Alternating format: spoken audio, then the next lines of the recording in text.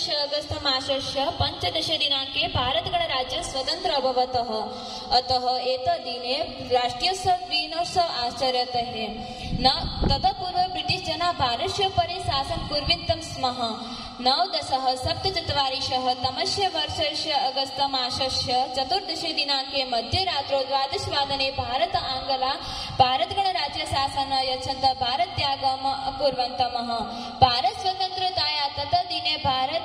राष्ट्रीयोत्सवतेन आचर्यते स्वातंत्र्य प्रमुख कार्यक्रम दिल्ली महानगर से रक्त दुर्गे